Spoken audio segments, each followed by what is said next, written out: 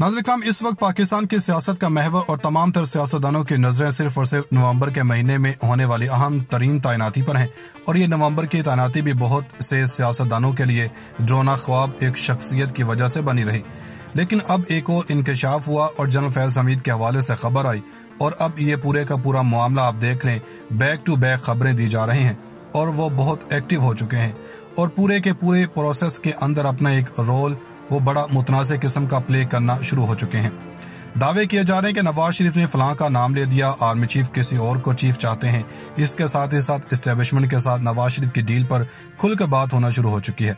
नवाज़ शरीफ ने जो चीज़ें हुई, इनकलाबी प्रेस कॉन्फ्रेंस हुई, ये दिल से दिल की गुफ्तगु का भांडा फोड़ेंगे और इमरान खान के लिए एक नया मौका पैदा हो चुका है। ये सारी पेशरफ है। सबसे पहले नवाज़ शरीफ ने हार्ट टू हार्ट एक खिताब किया। गुजशत भी इससे पहले भी मुलाकातें होती रही।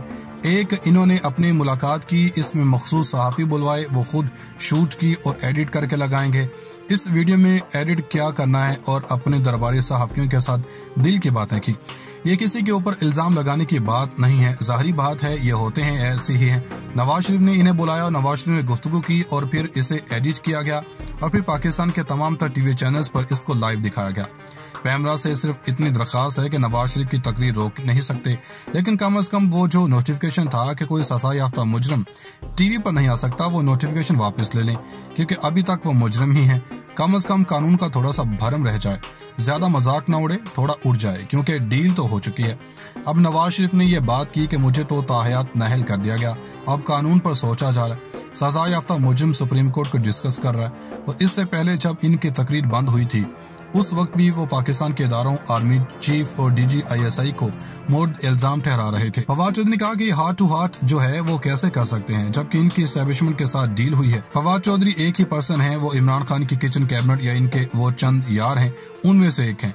इस पूरे मामले के अंदर मौजूद हैं तो फवाद चौधरी की तरफ़ से ये बात करनी बहुत अहमियत रखती है। अगर हम पूरे स्नैरियो को देखें तो जाहरी बात है एनआरओ की तकमील है, वो इस वक्त ही होनी है, जब नवाज़ शरीफ में वापस आना है। इनके सहाफ़ी प्रेशराइज कर चुके हैं कि अब शहर दस्तूर पर कानून को डंडा चलाया तो इनकी करप्शन की दास्तान एक्सपोज होंगी। ये सारी चीज़ें किसके बहा पर हो रही हैं? अब वही जारी बात है कि इसी तरह अंधेर नगरी चौपट राज है। ये देश वाकई अंधे लोगों का है। अब यहाँ पर नाजन खाम जो पाकिस्तान के आर्मी चीफ अहदा है और हम बड़े दिल से बात कर रहे हैं कि ये अहम तरीन अहदा है। और हमारी कोशिश रही है कि इस अहदे के हवाले से नाम भी ना लें। जो उम्मीदवार हैं, इनके हवाले से बातें हो रही हैं। एक दौर में एंटी स्टैब्लिशमेंट होते थे और एक नया बयानिया बनाने के लिए वो एक साइड पर हो रहे हैं, लेकिन अब इसका स्टैब्लिशमेंट को नुकसान पहुँच रहा है। ये सहाफ़ी इदारों के वेल विशर नहीं हो सकते, सिर्फ़ मुहब वतन सहाफ़ी ही खैर खा है पाकिस्तान के। ये लोग तो सौदागर हैं और ये सौदा करते हैं। यहाँ पर पूरा ग्रुप है, हामिद मीन असतूर एजाज सैयद भी इस ग्रुप का हिस्सा है। जाहरी बात है, इन्होंने कहा कि दो तीन नामों पर बात हो रही है कि ये फैसला हो चुका। ये तीन चार बंदे होने हैं, ये डिसाइड हो गया कि किसने चीफ नहीं बनना। ये सारे कौमी सलामती के मामले पर सहाफियों को पता है। ये कह रहे हैं कि जनूबी पंजाब वाली साइड पर पाकिस्तान के आर्मी के एक कोर कमांडर हैं। ये असतूर इंकशाफ करता है कि वो अपनी फैमिली की छुट्टियों की वजह से इन्होंने छुट्टियाँ ली और इन छुट्टियों के अंदर बड़ी अहम तीन मुलाकातें की और इनका इदारा इनकी निगरानी करता रहा और इनकी पर्सनल मीटिंग्स की भी और ये एक बहुत बड़ा इल्ज़ाम भी है, ये सहाफ़ी की तरफ़ से बात आ रही है। और आप ये कर रहे हैं, वैसे भी होनी चाहिए यह पाकिस्तान के आर्मी का है, ये भी मिसाल रही है। कि स्पाइनिंग पर और एक जनरल को सजाए मौत दी गई। ये तमाम तो चीज़ें होती हैं, लेकिन इस तरह से खबरें आना कि वो अहम मुलाकातें कर रहे हैं और फिर इनके इदारे ने ये कह दिया कि आप वापस जाएँ अपनी ड्यूटी पर? इनकी छुट्टियाँ नहीं हैं। आपने जो पर्सनल इवेंट करने हैं या फैमिली की मसरूफियात हैं, इधर शिफ्ट कर लें, इधर नहीं आप आ सकते हैं। ये एक बड़ा इल्ज़ाम है और ये उम्मीदवार हैं चीफ बनने के। इनके हवाले से बात नहीं कर सकते और ऐसी बातें करना, इनको इंतहा मुतनाज़ बनाना और इस पर खामोशी भी आवाम के लिए सवाल खड़े कर रही है। दोनों तरह से गलत है। अगर किसी को दूसरी साइड भी बनाती है तो भी इस वक्त ये बहुत से सवाल खड़े होते हैं। कौन है जो इनकी पुष्ट पर है? कौन है जिन्होंने इन्हें मुस्तना दिया हुआ है कि इदारों की बातें बाहर करें, ये मर्ज़ी और मन घड़त बातें करें। इस तरह की बातें कहाँ से आ रही हैं? दो ही चीज़ें हैं, या ये झूठ है? अगर ये सच है तो देखें कि कहाँ से आ रही हैं। इन सारी चीज़ों पर जो मामला थे, वो क्लियर होने चाहिए, और अब पैमाना एक होना चाहिए। नज़र पाकिस्तान की तारीख में इमरान खान के बारे में सोच पाई जाती है कि इमरान खान बड़े चालाक सियासतदान बन चुके हैं। काशिफ अब्बासी ने खबर में कहा कि इमरान खान की ईवान सदर में जो आर्मी चीफ से मुलाकात हुई है, यानी जनरल बाजो से वो मुलाकात बड़ी मुस्बत रही, और इसमें ईवान सदर की मुलाकात में आरिफ अलवी ने रोल प्ले किया। इस रोल प्ले करने के बाद सबको रोक दिया कि लॉन्ग मार्च नहीं होगा। क्योंकि अब बाजवा से मुलाकात के बाद इमरान खान को इलेक्शन की डेट मिलने वाली है और इमरान खान ने जो हिकमत अमली बनाई है, वो देखा ये रहे कि इनकी नाराज़गी जिनके साथ है, वो खराब है। लेकिन फ्रंट पर यह मामला चल रहा है कि इनके ताल्लुक खराब हैं और बैक एंड पर ये चीज़ें हैं कि गालिबन लॉन्ग मार्च की ज़रूरत नहीं होगी।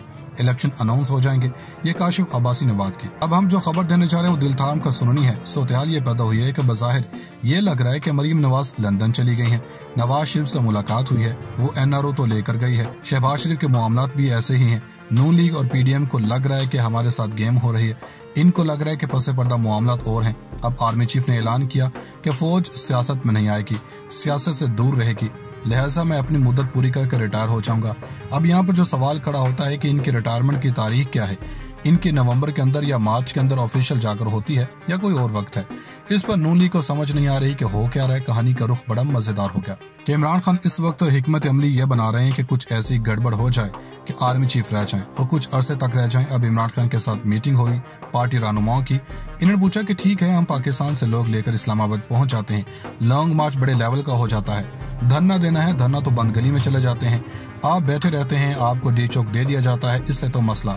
हल होने वाला नहीं। नज़र पाकिस्तान की तारीख में इमरान खान के बारे में सोच पाई जाती है कि इमरान खान बड़े चालाक सियासतदान बन चुके हैं। काशिफ अब्बासी ने खबर में कहा कि इमरान खान की ईवान सदर में जो आर्मी चीफ से मुलाकात हुई है, यानी जनरल बाजो से वो मुलाकात बड़ी मुस्बत रही। और इसमें ईवान सदर की मुलाकात में आरिफ अलवी ने रोल प्ले किया। इस रोल प्ले करने के बाद सबको रोक दिया कि लॉन्ग मार्च नहीं होगा। क्योंकि अब बाजवा से मुलाकात के बाद इमरान खान को इलेक्शन की डेट मिलने वाली है और इमरान खान ने जो हिकमत अमली बनाई है वो देखा ये रहे कि इनकी नाराज़गी जिनके साथ है वो खराब है। लेकिन फ्रंट पर यह मामला चल रहा है कि इनके ताल्लुक खराब हैं और बैक एंड पर ये चीज़ें हैं कि गालिबन लॉन्ग मार्च की ज़रूरत नहीं होगी। इलेक्शन अनाउंस हो जाएँगे। ये काशिफ अब्बासी ने बात की। अब हम जो खबर देने चाह रहे हैं वो दिल थाम का सुननी है। सोत्याल ये पैदा हुई है कि बज़ाहिर ये लग रहा है कि मरीम नवाज़ लंदन चली गई हैं। नवाज़ शरीफ से मुलाकात हुई है। वो एनआरओ तो लेकर गई है। शहबाज शरीफ के मामला भी ऐसे ही हैं। नून लीग और पीडीएम को लग रहा है कि हमारे साथ गेम हो रही है। इनको लग रहा है कि पसे पर्दा मामला और हैं। अब आर्मी चीफ ने ऐलान किया कि फौज सियासत में नहीं आएगी, सियासत से दूर रहेगी। लिहाजा मैं अपनी मुद्दत पूरी करके रिटायर हो जाऊँगा। अब यहाँ पर जो सवाल खड़ा होता है कि इनकी रिटायरमेंट की तारीख क्या है? इनकी नवंबर के अंदर या मार्च के अंदर ऑफिशियल जाकर होती है या कोई और वक्त है। इस पर नून लीग को समझ नहीं आ रही कि हो क्या रहा है। कहानी का रुख बड़ा मज़ेदार हो गया। कि इमरान खान इस वक्त हिकमत अमली ये बना रहे हैं कि कुछ ऐसी गड़बड़ हो जाए कि आर्मी चीफ रह जाए और कुछ अरसे तक रह जाए। अब इमरान खान के साथ मीटिंग हुई, पार्टी रहनुमाओं की। इन्होंने पूछा कि ठीक है, हम पाकिस्तान से लोग लेकर इस्लामाबाद पहुँच जाते हैं। लॉन्ग मार्च बड़े लेवल का हो जाता है। धरना देना है, धरना तो बंद गली में चले जाते हैं। आप बैठे रहते हैं, आपको डी चौक दे दिया जाता है, इससे तो मसला। हल होने वाला नहीं।